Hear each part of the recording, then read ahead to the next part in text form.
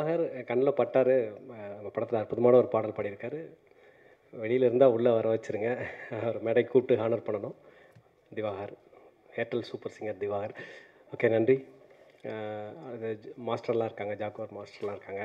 கவிஞர் அடுத்து பேசுவாங்க. எனக்கு வந்து கட்டில் திரைப்படம் வந்து இவ்வளோ தூரம் எல்லாம் போயிருக்குன்னா ரீச் ஆகிருக்கு பட்டி தொட்டி எல்லாமே ரீச் ஆகிருக்குன்னா அதுக்கு ரொம்ப முக்கியமான சில காரணங்கள் இருக்குது அதுக்கு ஒரு ஒரு ஒவ்வொரு காரணங்களாக சொல்கிறேன் ஊடகம் தான். ஊடகம் தான் வந்து இந்த இடைப்பட்ட காலகட்டத்தில் வந்து கட்டில் திரைப்படத்தை வந்து எல்லா இடங்களுக்கும் உலகம் முழுக்க கொண்டு போய் உலகத்தில் வாழக்கூடிய உலக தமிழர்கள் மத்தியில் கொண்டு போய் சேர்த்துருக்குன்னா ஊடகங்கள் தான். அந்த ஊடகத்துக்கு போய் அந்த ஊடகத்துக்கு என்னுடைய நன்றி. ஊடகத்துக்கு அனைத்து ஊடகத்துக்கும் ஒன்று சின்னது பெருசு. பாரதி சொன்ன மாதிரி அக்னி குஞ்சொன்று கண்டேன் அப்படின்னு. அந்த நெருப்பில் வந்து சின்னதாக பெருசாக அப்படின்னு சின்ன சின்ன பெரிய செட்டப்பில் எடுக்கக்கூடியதாகட்டும் சின்ன மொபைல் எடுக்கிறதாகட்டும் எல்லாமே வந்து பல லட்சம் மக்களை போய் சேருது அப்படின்னு பார்க்கும்போது இந்த ஊடகத்துடைய அந்த வீரியம் எவ்வளோ பெரிய விஷயமா இருக்குது அப்படின்னு பார்க்கும்போது மகிழ்ச்சியாக இருக்குது இதுக்கெல்லாம் காரணமாக இருக்க எய்ம் சதீஷ் அவங்க டீம் சிவா. இவங்கெல்லாம் வந்து உண்மையிலே நான் வந்து பத்து ஜென்மம் புண்ணியம் பண்ணியிருக்கணும். ச சிவா அவங்க சதீஷ் இவங்கெல்லாம் வந்து எனக்கு பிஆர்ஓ இருக்கிறதுக்கு. அவ்வளோ ஹார்ட் ஒர்க்கு இங்கே மேடையில் ஒரு நம்மளை வந்து ஒரு இயக்குனரை குழந்த மாதிரி பார்த்துக்கிறாரு. நான் அவன் நானும் இருபத்தஞ்சி வருடமாக சினிமாவில் இருக்கேன். பாரதி படத்தில் தொடங்கி இருபத்தஞ்சி வருஷமாக இருக்கிறேன். ஆனால் நமக்குன்னு வரும்போது ஒரு இப்போ தயக்கம் இருக்கு. இல்லையா அது உட்காந்து இருக்கும்போது இந்த பக்கம் சிரிச்சிட்டாங்க இந்த பக்கம் கவிஞர். நான் ஒரு மாதிரி இப்படி கூனி உட்காருக்கும் போது என் சோல்டரை பிடிச்சி நிமித்தி உட்கார வைக்கிறாரு. அந்த அந்த தாய்மை உணர்ச்சி. எனக்கு மட்டும் இல்லைங்க. இப்போ இருக்கிற நிறைய பேர் இதுக்கு முன்னாடி வேற பிஆர்எஸ் வச்சுருந்தாங்க. அதுக்கப்புறம் இவரை வச்ச பிறகு அவங்கள எல்லாருமே நிமிந்து உட்கார வச்சிருக்கிறாரு சதீஷ். அவருக்கு வந்து ரொம்ப அதிகமாகவே சொல்லிட்டு தப்பாக எடுத்துக்க வேண்டாம். உண்மை இதுதான். முக்கியமாக வந்து கவிப்பரசு வைரமுத்து ஐயா அவங்க வந்து நான் ரொம்ப சின்ன வயசில் ஒரு நான் ஒரு பதினோராம் வகுப்பு படிக்கும்போது அவரை சந்தித்த நேரங்கள் எல்லாமே கையில் கெமிஸ்ட்ரி புத்தகம் இருக்கும். இல்லைன்னா சுவாலஜி பாட்னி இது மாதிரி ஏதாவது புத்தகம் இருக்கும். ஏன்னா அந்த மாதிரி தான். இப்போ ஸ்கூல் முடிஞ்சு நைட்டு வந்து முத முதல் வந்து அஹ், செலின் சாருடைய தஞ்சை இரா செலின் அவங்களுடைய திருமணத்தில் தான் அவங்க மூலமாக தான் எனக்கு அறிமுகமாகுது. மீசையெல்லாம் முளைக்கல எனக்கு. அவ்வளோ சின்ன வயசில் பார்க்கும்போது அதுக்கு முன்னாடி கவிஞர்னா அப்போல்லாம் வந்து நம்ம ஊடகங்கள் இல்லை இல்லையா? கவிஞர்னா ஒரு மாதிரி இருக்காங்க. வேட்டி சட்டை ஒரு வெள்ளை வேட்டி சட்டையெல்லாம் போட்டுட்டு போது கவிஞரை முத முத பார்க்கும்போது அந்த கம்பீரம் வந்து ரொம்ப என்னை பாதிச்சுது. கவிஞருடைய தமிழ் அவருடைய மொழி அவருடைய ஆளுமை இது எல்லாமே வந்து ரொம்ப பாதிச்சுது. ஆக்சுவலி வந்து கவிஞரை பிடிச்சவங்க பிடிக்காதவங்க எல்லாருமே வந்து கவிஞரோட நே- கொஞ்சம் பழக ஆரம்பிச்சிட்டா கவிஞரோட ரொம்ப பிடிக்கும். ஏன்னா எல்லாத்தையும் நேர்த்தியாக செய்யணும் அப்படின்றது. அவர் எழுதக்கூடிய அந்த அந்த எழுதக்கூடிய தாள் கூட அது வந்து எவ்வளோ அழகாக இருக்கணும் எவ்வளோ நேர்த்தியாக இருக்கணும் அப்படி. இப்போ உடை அந்த உடை மாதிரி தான் எப்படி அந்த உடை வந்து எவ்வளோ அழகாக இருக்கோ அது மாதிரி கவிஞருடைய மனசு வந்து ரொம்ப அழகானது. ரொம்ப நேர்த்தியானது கவிஞருடைய விஷயம். அதாவது இப்போ ஆயிரம் கணைகள் கவிஞர் மேலே வீசப்படலாம் எல்லாம் பண்ணலாம். ஆனால் நெருங்கி ப பழகினவங்களுக்கு தான் தெரியும்.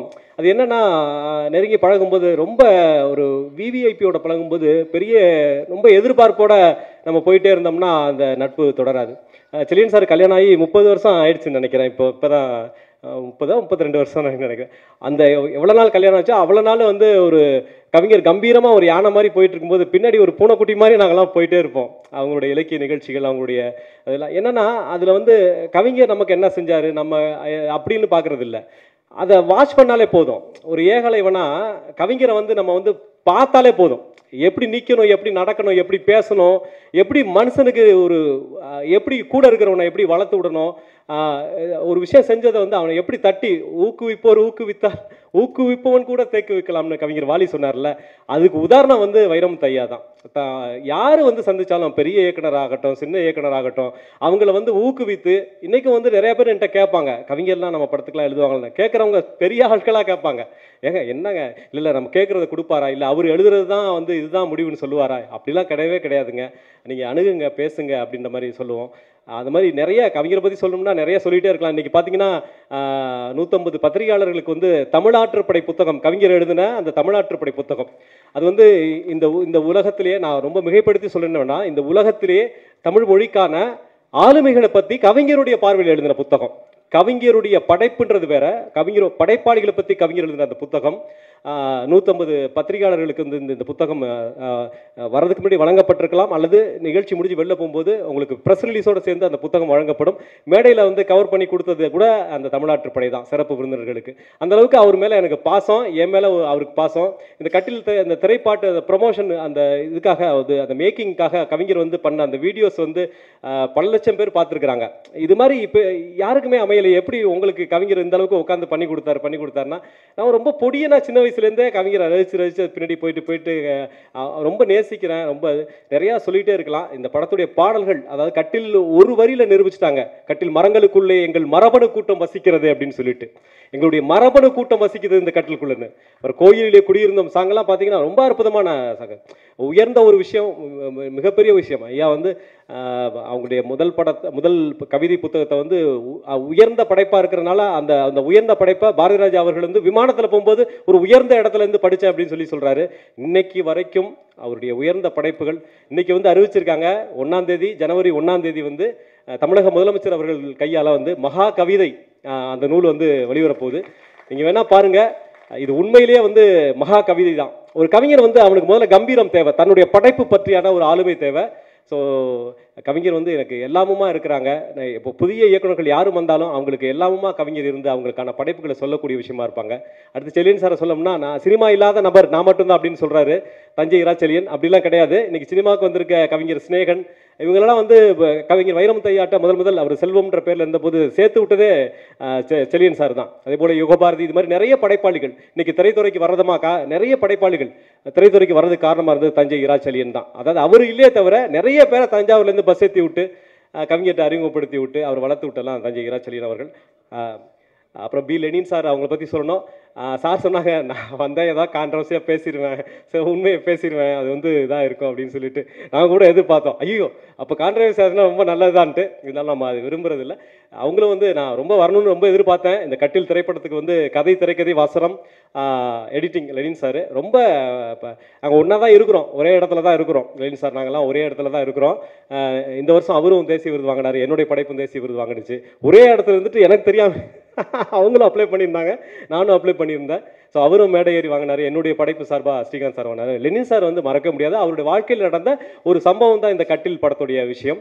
ஸோ அதனால அது என்னுடைய வாழ்க்கையில் நடந்தது. எங்கள் அம்மாவோடைய பாட்டிக்கு சீர் கொடுக்கப்பட்ட அந்த சீர் கொடுக்கப்பட்ட அந்த பழைய கட்டில் இன்னமும் எங்கள் வீட்டில் இருக்குது என்னுடைய இளைய தம்பி வரைக்கும் அதில் தான் சாந்தி முகூர்த்தம் நடந்தது. இந்த இதே கதையை அவர் சொல்லும்போது க- ஒரு ஒருத்தர் கதை சொல்லும்போது அது கனெக்ட் ஆச்சுன்னா அது வெற்றி பெறும் அப்படின்றதுனால அந்த படத்தை எடுத்து சர்வதேச விருதுகள்லாம் பெற்று வந்திருக்கு. நிறைய பெரிய விஷயங்கள் இதுக்கு. அப்புறம் ஸ்ரீகாந்த் தேவா சார் ஆக்சுவலி வந்து பொதுவாக வந்து அவருடைய நூறாவது படம் எனக்கு வேணும் வேணும்னு சொல்லிட்டு இருந்தேன். இது நூறாவது படம் போட்டுக்கலாமா? நம்மளா போட்டுக்கிறதானே அப்படின்னா இல்லை இல்லை நிஜமாவே வேற ஒரு படம் நூறாவது படம் அப்படின்னா. பொதுவாக அப்போ தான் தெரிஞ்சது எனக்கு வந்து மொய் வைக்கும் போதெல்லாம் நூற்றி ஒன்று தானே வைக்கிறோம். நூற்றி ஒன்று ஸ்ரீகாந்த் தேவா அவர்களுடைய நூற்றி ஓராவது படம் கட்டில். ஸோ வந்து பார்த்தீங்கன்னா என்னன்னா அந்த நூற்றி ஒன்று தான். நீங்கள் நூ கல்யாணம் அங்கங்கே போனாலும் நூறுரூவா மொய் போட்டாலும் அந்த நூற்றி ஒன்று வச்சாதான் அந்த ரூபாய்க்கு மதிப்பு. அது மாதிரி. இது வந்து ரொம்ப அழகாக ரொம்ப நீங்கள் நிறைய பேர் சொல்லிட்டாங்க ஸ்ரீகாந்த் தேவாசரை பற்றி அவரால் எனக்கு பெரிய கௌரவம் கிடைத்திருக்கு. நான் வந்து ஒரு ஆந்தாலஜி மூவி அந்த கருவறை அதுக்கு வந்து எட்டு விருது அப்ளை பண்ணேன். எட்டு விருது அப்ளை பண்ணேன். ஸ்ரீகாந்த் தேவா சார் கிடைச்சது மூலமாக நான் ஒரு தேசிய விருது பெற்ற ஒரு குறும்படத்தை இயக்கிய ஒரு இயக்குனராக நான் மாறிட்டேன். ஸோ எனக்கு இந்த பேர் கிடச்சிருக்குன்னா அதுக்கு அவர் தான் காரணம் நேற்று முன்தினம் ஜனாதிபதி மாளிகையிலேருந்து தொலைபேசியில் கூப்பிட்டாங்க. ஏற்கனவே அவங்க வந்து ஜனாதிபதி வந்து அவங்க விமு லிங்க் அந்த அந்த ஆந்தாலஜி மூவியுடைய விமு லிங்க் வந்து அவங்க பெற்றுக்கொண்டாங்க. படம் வந்து ஜனாதிபதி பார்த்துட்டாங்க. ரொம்ப நல்லா இருக்குது முக்கியமாக அவங்களுடைய வாழ்க்கையில் நடந்த ஒரு சம்பவம் இது உங்களுடைய அந்த கருவறை அப்படின்னு ஜனாதிபதி மாளிகையிலேருந்து எனக்கு ஃபோன் பண்ணி சொல்லி இது சம்பந்தமாக ஜனாதிபதி விரைவில் உங்களுக்கு கடிதம் எழுதுவாங்க அப்படின்ற மாதிரி சொன்னாங்க. இப்படிலாம் ஒரு சம்பவம் நடக்கிறதுக்கு ஸ்ரீகாந்த் சார் இன்னும் சொல்லப்போனால் இந்த நிகழ்ச்சியில் இல்லைன்னா கூட மதன் கார்கே அவருடைய மனைவி நந்தினி அவங்க தான் வந்து அதுக்கு வந்து இந்த இந்த இறுதி வடிவத்துக்கு வரும்போது டேரக்டர் வசந்த் சார் ஜூரியா இருந்திருக்காரு. அதுக்கு முன்னாடி பதிமூணு பேர் இந்த படத்தை பார்த்து ஓகே பண்ணிட்டு தான் டேரக்டர் வசந்த் சார் வந்திருக்கு. பதிமூணு பேரும் அந்த ஆங்கில மொழிபெயர்ப்பு கவிஞர் ஆஹ், கவிஞர் வைரமுத்தையருடைய மருமகள் மதன் கரிகருடைய மனைவி அவங்க தான் வந்து அதை வந்து சப்டைட்டில்லாம் பண்ணியிருந்தாங்க என் படத்துக்கு. எல்லா என்னுடைய எல்லா ப்ராஜெக்ட்டுக்கும் அவங்க தான் பண்ணுறாங்க வெற்றி பெற்ற நிறைய படங்கள். அவங்கள தான் அந்த யார் சப்டைட்டில் பண்ணது அப்படின்னு சொல்லி அந்த ஜூரிஸ் கேட்டாங்க. அந்த அந்த இரவு வந்து விருந்தில் கலந்துக்கிட்டு போகுது அந்த ஜூரிஸ் கேட்டாங்க. அப்போ தான் சொன்னேன் இது மாதிரி சொல்லும்போது கவிஞரை தெரிஞ்சிருக்கு. ஸோ இது மாதிரி சொல்லும்போது ரொம்ப சந்தோஷமாக இருந்தது. இது மாதிரி நிறைய பேருக்கு மதன்காரி சார் வந்து ரொம்ப அழகாக பேசினார். கவிஞர் வந்து ஒரு புரொட்டோக்காலோடைய உச்சம் கவிஞர். எல் அவர் வேற ஒரு உச்சம் ஒரு கம்பீரத்தோட புரோட்டோக்காலோட உச்சம். ரொம்ப மதன்காரிக்கு வந்து ஒரு எளிமையனோட உச்சம். எப்படி ஒரு கவிஞருடைய ப்ராடக்ட் எப்படி இவ்வளோ ஒரு கான்ட்ரஸாக இருக்குது அப்படின்றது எங்களுக்கு ரொம்ப இதாக இருக்கும். ஸோ க மதன்காரிக்கு அவர்கள் பாடல் எழுதுனதே கவிஞருக்கு தெரியுமான்னு தெரியல. இன்றைக்கி ஒன்றா தான் காரில் வந்தாங்க. ஸோ தெரியுமான்னு தெரியல. இன்னைக்கு தான் தெரிஞ்சிருக்கும்னு நினைக்கிறேன். ரொம்ப அழகாக ரொம்ப அதாவது இந்த கதையும் தெரிஞ்சிடக்கூடாது. வ- லெனின் சார் அவரும் காட்சியை விளக்குனாரு. நானும் விளக்குனேன் இந்த கதையும் தெரிஞ்சிடக்கூடாது. கதையில் என்ன நடக்குதுன்னு தெரிஞ்சிடக்கூடாது. ஆனால் அந்த பிரிவை வந்து மனைவி இருக்கிறாளா இல்லையா போயிட்டாளா அப்படின்ற எதுவுமே தெரியாமல் அந்த பிரிவை வந்து வயவான் நான் கமிட் ஆகும்போதே சொன்னேன். இது மாதிரி ஒரு புதிய ஒரு சொல்லை வந்து உருவாக்கி அதை வந்து பாடலில் பயன்படுத்தி அது என்ன என்னன்னு எல்லாரையும் கேட்க வைப்போம் அப்படின்னு. வயவான்ற வார்த்தையை வந்து பல லட்சம் பேர் இணையத்தில் தேடி இருக்காங்க அப்படின்றது ஒரு குறிப்பு சொன்னுச்சு. காரணம் மதன் கார்கே அவர்கள் தான் ஸோ வந்து பாடல்கள் வந்து ரொம்ப இயல்பாக எழுதக்கூடியவர். அவருடைய டீம் தான் எனக்கு. அவர் triple R Rajamouli sir team அவங்க தான் வந்து எனக்கு வந்து தெலுங்கு மலையாளம் கன்னடத்தில் பண்ணி கொடுத்தாங்க. ஸோ மதன் கார்கே அவர்களுக்கும் என்னுடைய நன்றி. அப்புறம் வந்து கேஸ் ரவிக்குமார் சார் அவங்கக்கிட்ட ரொம்ப இங்கே இல்லைன்னா கூட அவருடைய நிச்சயமாக வந்து ஒரு பெரிய ஒரு கமர்ஷியல் டைரக்டர் அவர் அவர் பார்க்காத விஷயமே கிடையாது. ஆனால் அவர் வந்து ஒரு பாராட்டுறாரு அப்படின்ற மாதிரி சொல்லும்போது எனக்கு ரொம்ப ரொம்ப நிகழ்ச்சியாகவும் இருந்தது. ஜாக்கோர் தங்கம் அவர்கள். நீங்கள் வந்து இன்றைக்கி சிறுபட தயாரிப்பாளர்கள் பார்த்தீங்கன்னா ஒரு தமிழ் படம் நிறைய பேருக்கு அது தெரியுமான்னு தெரியல. ஃபிலிம் சேம்பர் இருக்குது தமிழ் திரைப்பட தயாரிப்பாளர் சங்கம் இருக்குது அப்புறம் இவங்களுடைய கில்டு இவங்களுடைய கில்டில் ஃபிலிம் சேம்பரில் தான் வந்து நான்கு மொழிகளுக்கான படத்தை பண்ண முடியும். சேம்பரில் இந்திய மொழிகளுக்கான படம்லாம். நான் ஹிந்திலலாம் கட்டில் வந்து ரிஜிஸ்டர் பண்ணியிருக்கேன்னா சேம்பர் தென்னிந்திய மொழிகளில் பண்ணியிருக்கேன்னா அது கில்டு தான் காரணம். ஒரே நேரத்தில் மலையாளத்துலேயும் தமிழ்லையும் கட்டில் நான் பேர் வைக்கும்போது முதல்ல வந்து அவங்க மூலமாக நான் சென்சார் பெற்றேன். ஜாக்குவார் தங்கம் அவர்கள். எப்போயுமே அவர் வந்து அவர் வயசே தெரியாது. அவர் வந்து எப்பயுமே யார் போனாலுமே வந்து அவருக்கு எதிரியே கிடையாது. அப்படி ஒரு தோற்றுவிக்கப்படும். ஆனால் அவர் வந்து எல்லாருக்குமே வந்து ஒரு நல்ல ஒரு விஷயங்களை பண்ணியிருக்காரு. நிறைய பேர் நான் நன்றி சொல்லணும் அப்படின்னா இங்கே வந்து அனிதா கார்த்திகன் பாடியிருக்காங்க. அவங்களுக்கும் என்னுடைய வணக்கங்கள். ரவிசங்கர் சார் அவர் வந்து அவருடைய இந்த கதைக்கு நியாயமாக ஒர்க் பண்ணியிருக்காரு. அதாவது ஒரு ஒரு படம் பண்ணும்போது இயற்கையாக இருக்கணும் அது ஒரு சினிமா பார்க்குற மாதிரி இருக்கக்கூடாது அப்படின்ற ஒரு மூடை கொண்டு வரக்கூடிய ஒரு பிசி ஸ்ரீராமனோட ஸ்டூடெண்ட் பிசாசு படம் பண்ணவர். இது மாதிரி நிறைய படங்கள்லாம் அற்புதமான படங்கள்லாம் பண்ணார். ரவிசங்கர் சாருக்கு என்னுடைய நன்றி. பல்ஸ் என்டர் பல்ஸ் என்டர்டைன்மெண்ட் அவங்க வந்து இப்போ ரிலீஸ்க்காக அவங்க வந்து என்னுடைய நிறுவனத்துக்குள்ளே உள்ளே வந்திருக்காங்க. கிருஷ்ணன் அவர்களுக்கு என்னுடைய வாழ்த்துக்கள். கீதா கைலாசம் மேடம் அவங்க வந்து என்னுடைய படத்தில் தான் முதல் முதல் நடித்தாங்க ஸோ எனக்கு என்னென்னா இப்போ ஒரு பதினஞ்சு படம் நடிச்சிட்டாங்க. இந்த ஃபங்க்ஷன் வர்றதுக்கே அவங்களுக்கு டேட் கிடைக்குமான்ற அளவுக்கு நானே பதட்டப்படுற அளவுக்கு கீழே தான் உட்காந்துருக்காங்க மேடை கூப்பிட்டோம் அவங்க கீழே தான் உட்காந்துருக்காங்க வந்து விகடன் விருது வாங்கியிருக்கிறாங்க. இப்போ வந்து நிறைய படங்களை நீங்கள் பார்த்துருப்பீங்க. கீதா கைலாசம். அவங்களுக்குள்ள ஒரு பெ- பெரிய வெறி இருந்திருக்கு. பாருங்க ஒரு இரண்டாம் வாழ்க்கை ஒரு பெண்ணுடைய வாழ்க்கையில் ஒரு இரண்டாம் வாழ்க்கைன்னு எவ்வளோ பெரிய விஷயம். நாங்களாம் வந்து அவங்களுடைய மின்பங்கள் நிறுவனத்தில் வந்து அவங்கள வந்து ஒரு பெண் சிங்கம் மாதிரி பார்த்துருக்கோம். அவ்வளவு ப்ராஜெக்ட் நிறைய ப்ராஜெக்ட் ஒரு பதினஞ்சு நீங்கள் சன் டிவியில் பார்த்து பிரமிச்ச எல்லா விஷயங்களும் அதுக்கப்புறம் வெவ்வேறு தொலைக்காட்சியில் பார்த்து பிரமிச்ச எல்லா விஷயங்களும் தயாரிப்பாளர் வந்து கீதா கைலாசம். அந்த மின்பிம்பங்களில் கட்டி ஆண்ட ஒரு பெண் சிங்கமாக இருந்தாங்க. அவங்க வந்து நிறைய தொழிலாளர்கள் ஆயிரக்கணக்கான தொழிலாளர்கள் கைலாசம் சார் வந்து அந்த பொறுப்பை வந்து அவங்களுக்கான சம்பளம் போடுறதுலேருந்து எல்லா பொறுப்பையும் கைலாசம் கீ- கீதா மேடத்திட்ட கைலாசம் சார் ஒப்படைச்சிருந்தாங்க. அப்படிலாம் நாங்கள் பார்த்தவங்க வந்து அவங்க நடிக்க விருப்பப்படுறாங்கன்னு ஒரு தகவல் எனக்கு வந்தோன்னே எனக்கு வந்து கண்ணில் தண்ணி வந்துருச்சு. எப்படி இவங்களை வேலை வாங்க முடியும்? நம்ம நம்ம கேட்கலாமா அப்படின்னு சொல்லிட்டு ரொம்ப தயங்கி தயங்கி போய் கேட்கும்போது நடிக்கிறேன் அப்படின்னு சொன்னாங்க.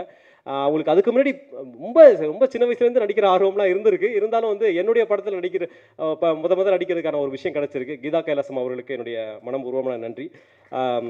இங்கே வரலைன்னா கூட ஏவிஎம் ஏவிஎம் ஐயப்பன் அவங்களாம் வந்து ரொம்ப ஆயிரக்கணக்கான படங்கள் ஒர்க் பண்ணவங்க. இந்த சவுண்டு நல்லா கேட்டுச்சுன்னு சொன்னால் ஏவிஎம் ஐயப்பன் இங்கே வந்து ஸ்ரீகாந்த் சாருடைய இதில் கேட்டுச்சுன்னு அவருடைய ஒர்க்கில் பார்த்தீங்கன்னா சரண் இவங்களுக்குலாம் நன்றி சொல்லணும் அப்புறம் விஎஃப்எக்ஸ் டிஐ நவீன் அவர்களுக்கும் அப்புறம் என்னுடைய மேனேஜர் சண்முகம் அப்புறம் எனக்கு எல்லாமா இருந்திருக்கு ராஜன் கோவிந்தராஜன் அவர்களுக்கும் என்னுடைய நன்றி.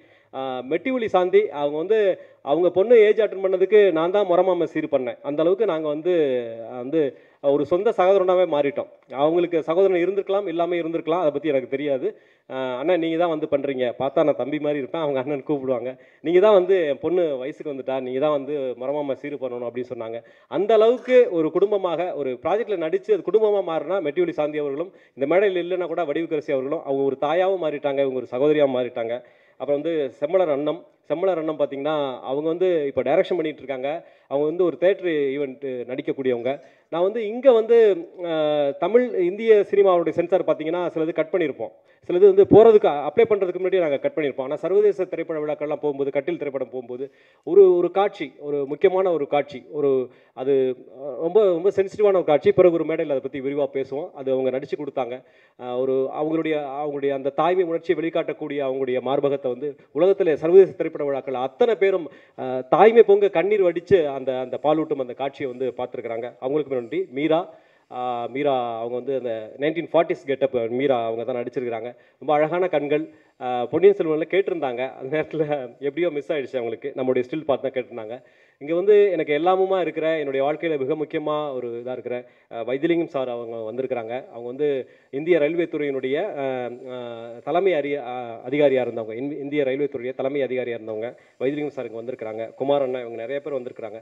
ஓவியர் ஷியாம் அவர்கள் அவங்க தான் நீங்கள் பார்க்குற எல்லா விஷயங்களும் என்னுடைய படத்தில் இந்த டிசைனுக்கு அந்த லோகோ விஷயங்கள் எல்லாமே வரைஞ்சு கொடுக்குறது என்னுடைய இருபத்தைந்து ஆண்டு கால நண்பர். ரொம்ப எல்லாமே குடும்பமாக பழகக்கூடிய விஷயங்கள். மாஸ்டர் நிதிஷ் ஒரு சின்ன பையன் அவன் நடிக்கும்போது சின்ன பையனாக இருந்தான். இந்த கொரோனாவில் டக்குன்னு பெரிய பையனாக ஆகிட்டான் அவன் வந்து ஒரு பெரிய பையனாக வளர்றதுக்கு காரணம் பத்திரிகையாளர்கள் தான். அவன் வந்து நடிக்க வரும்போதே நல்லா நடிக்கிறான்னு எல்லா பத்திரிகை எழுதவும் எல்லாருமே வந்து அடுத்தடுத்த வாய்ப்புகள் வந்தது. இன்றைக்கி அவன் வெளில போனான்னா என்ன தண்ணி விட்டுட்டு தள்ளி விட்டுட்டு அவன்கிட்ட செல்ஃபி எடுத்துக்கிறாங்க. அந்த அளவுக்கு தான். நம்ம படத்தின் மூலமாக அறிமுகமானா அப்படின்ற மாதிரி விஷயங்களாக இருக்குது பத்திரிகை